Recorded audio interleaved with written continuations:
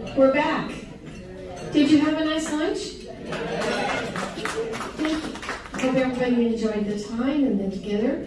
We're going to proceed on. Um, I have next to me,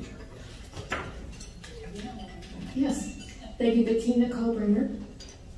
I'm going to tell you a couple things about her. She's going to be doing a presentation for you today.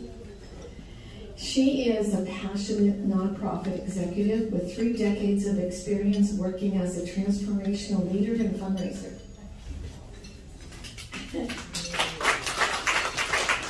Her passion is children's physical and behavioral health and currently serves as the Director of Philanthropy at Shriners Children Northern California. Okay? She a certified fundraising executive and has a master in nonprofit administration from the University of San Francisco.